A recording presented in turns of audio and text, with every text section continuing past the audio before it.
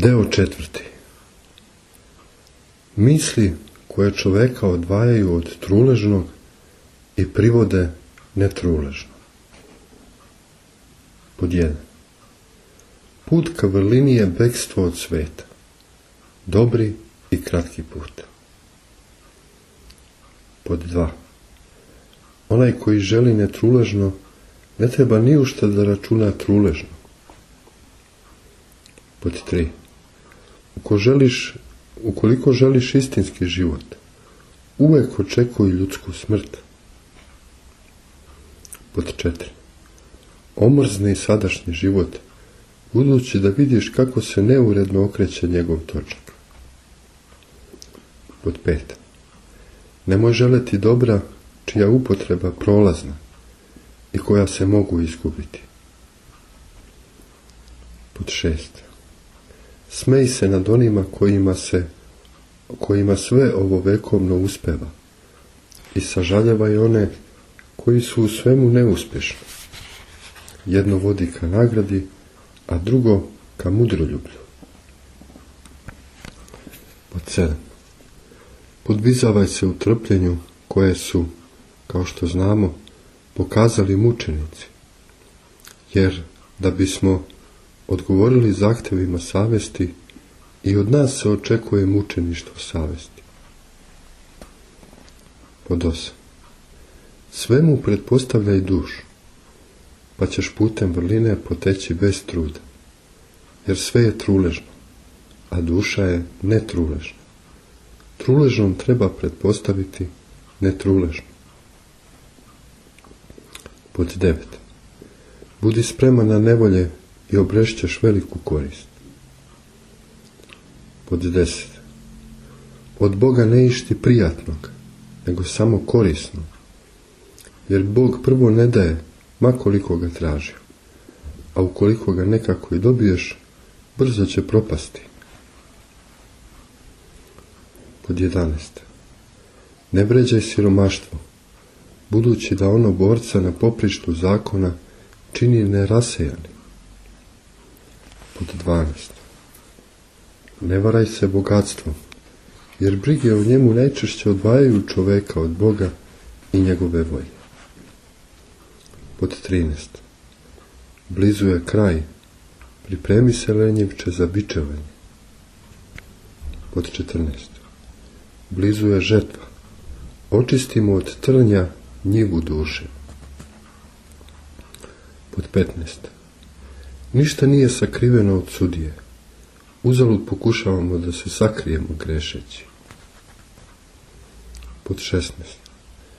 Više se stidi od anđela, kojih je mnogo oko nas, nego li ljudi. Udaljuju se od svakog sramnog dela. Pod 17. Zabrinuto pomišljaj na vagu sudije, te ćeš iz dela svog života izbaciti sve što ne može da izdrži pravu meru, to jest ono što će se uslijed primese tuđih raspoloženja pokazati lažnim, kao što se, na primjer, pokazuje lažnom zlatna moneta koja zbog primesa drugih elemenata ne pokazuje svoju normalnu težinu. Pod 18.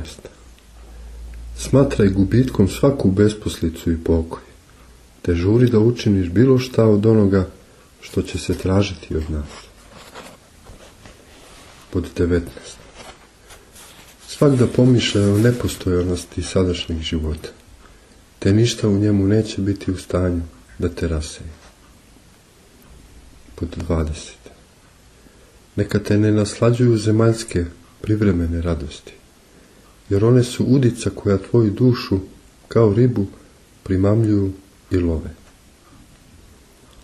Pod 21. Stoj protiv iskušenja, pokazujući potrebnu hrabrost. Pod 22. Nikad nemoj prezreti siromaha koji proliva suze, da ni tvoje molitve ne bi bile prezrene. Pod 23. Mudroljublje je najbolje imanje koje ljudi mogu steći. Međutim, budući jedinstveno, i ono hoće da prebiva jedino sa onim koga je stekao. Pod 24. Vrlina je hiton Boži. Trudi se da ga tkaš, te ćeš oblačiti onoga koji odeva svu tvar. Pod 25. Prizemne stvari otimaju lopovi. Čini nebesko koje je nedostupno za prste grabljivaca. Pod 26. Treba da odbijamo utehe, budući da nas navode na dela zbog kojih se, po otrežnjenju, obično stenje. Pod 27. Plotoljubivih pomisli treba da se gnušamo, zato što kvare telo i oskrnavljuju dušu. Po 28. Ni zemaljska dobra se ne stiču bez truda. Zašto bismo onda bez napora izbjegavali nebeska dobra? Po 29. Hoćeš li da činiš vrlinu i da ne osjećaš napor? Drži u misli da je trud privremen, a nagrada večna. Pod 30. Trebalo bi da svi koji istrajavaju u nepotrebnim slastima pomisle o kratkotrajnosti naslade i o dugotrajnosti kazne za njih. Pod 31. Sve smatraj truležnim, a jedino vrlinu netruležnom. Pod 32. Prenebregavaj sve što čovjek čini sličnim skotu i čini samo ono što te može učiniti nebeski. Pod 33. Trudi se oko vrline zato što ona Adama kroz mudroljublje pokazuje Bogom. Pod 34. Da li uzdržavaš stomak? Međutim, uzdržava i jezik, da ne bi bio rob jednog, a beskoristan slobodnjak drugog pod 35. Ljubi Boga i prema svojima nemoj biti privrženiji nego prema njemu, kako se, po njegovoj reči, ne bi pokazao nedostojnim njega, premda i ne bi želeo da se to desi. Po 36. Strpljivo podnosi nevolje zato što se u njima krije venac za borce. Pod 37. Blaženo je trpeti zlo, a činiti ga jadno, jer onaj ko trpi jeste nasljednik Kristov, a koga čini su nasljednik đavola. Po 38. Dobar je hleb posta, zato što u njemu nema kvasta slastoljublja. Po 39. Svet je žrtvenik molitve, zato što nam privlači svetoga nad svetima. Pod 40. Nemoj pravednost smatrati dodatkom vrline, zato što je bez nje svako delo nečisto. Pod 41. Ako seješ među nište, sej svoje, zato što je tuđe gorče od pelena. Pod 42. Milostiv čovjek je slep ukoliko je nepravedan, budući da obrađuje polje sa koga ne može da sabere žetvu. Pod 43. Svak da očekuje smrt, ali se nemoj bojati. Jedno i drugo su crte mudroljublja. Pod 44. Nosi obraz vrline, ali ne stoga da bi obmanuo, nego da bi doneo korist onima koji te vide. Pod 45. O dobru treba da govori i onaj koji ne čini dobro, kako bi, postidevši se svojih reči, i sam počeo da ga tvori. Pod 46. Ako istinski želiš nebo, onda sa zemljom nemaš ništa zajedničko, jer ona neće dozvoliti da se uzneseš ka njemu. Pod 47. Nemoj želeti da se obogatiš radi ljubavi prema siromasima, jer Bog je pravedniku naredio da daje milostinju od onoga što ima. Evanđelje po Luki, glava 11, stih 41. Pod 48. Ako čaša studene vode opravdava milosrdno, kakva tek nagrada očekuje onoga koji je sve dao siromašnjima? Pod 49. Čistota i saosećajnost su majke velina, stoga bez njih nije moguće vojevati za Hrista. Pod 50. Nemoj zanemarivati saosećajnost, zato što je ona blagog vladiku svela sa neba. Pod 51. Nemoj prenebregavati čistotu, zato što je njome ona koja je postala oruđe ova počenja, presveta djeva, ljudima darovala Boga koji se radi nas ovoplotio. Pod 52. Ne govori osvetit ću se neprijatelj, zato što na nebu ima pravednog sudiju. Pod 53. Nemoj želeti ni da živiš u utehama, ni da si bogat, ni da te slave, jer to je žiteljska truležnost, a mi smo sazdani za netruležnost. Pod 54. Nemoj plakati nad umrlim, budući da je to zajednički put, i blažen je onaj ko taj kraj dostigne bez prekora. Pod 55. Plači zbog grešnika, a ne zbog siromašnog, jer drugome se priprema venac, a prvome muka. Pod 56. Smej se na točkom života koji se neuredno vrti. Međutim, čuvaj se bezdana u koji on svrgava one koji zaspu na njemu. Pod 57. Sa Bogom besedi mnogo, a sa ljudima malo. Poučavajući se u zakonu, postići ćeš i jedno i drugo. Pod 58. Suze za vreme molitve su za dušu blagotvorna kupelj. Ipak posle molitve se sećaj zbog čega si plakao. Pod 59. Nemoj ublažavati silne ovog sveta, zato što će silni biti silno ispitivani. Prema njima će i sudija biti strožiji. Pod 60. Adamu je naloženo da se trudi i to bez nagrade, a mi trudeći se u zakonu stičemo nagradu.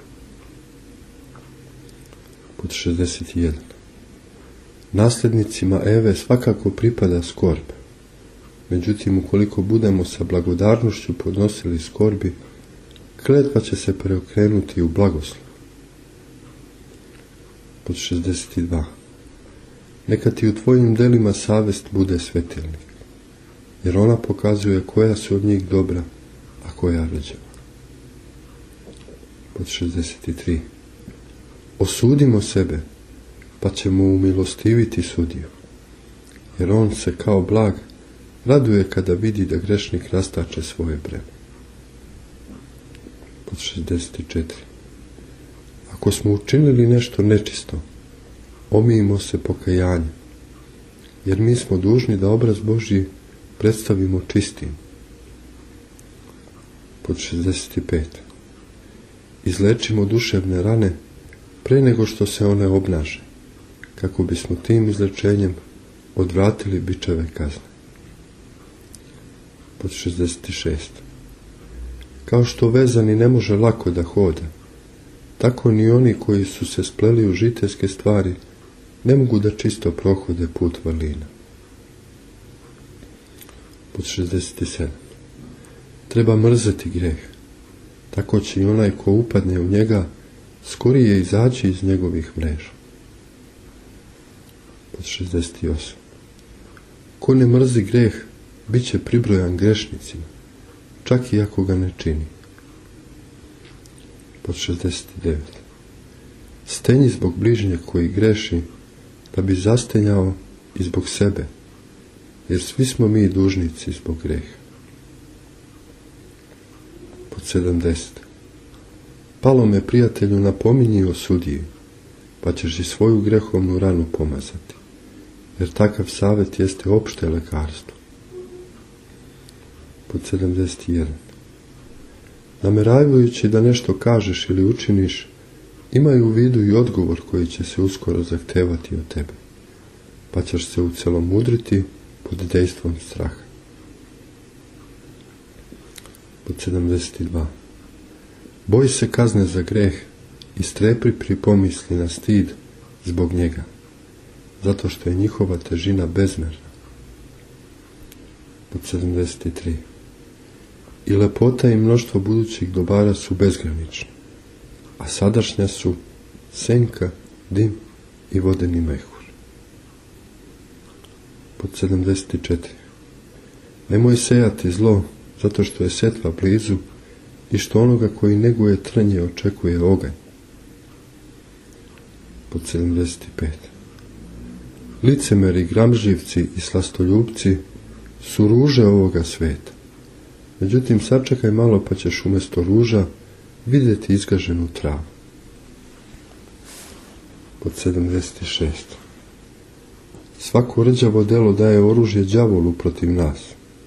Naoružen njime, on se žestoko odnosi prema onima koji su ga naoružali. Pod 77. Hoćeš li da neprijatelja dovedeš do iscrpljenosti?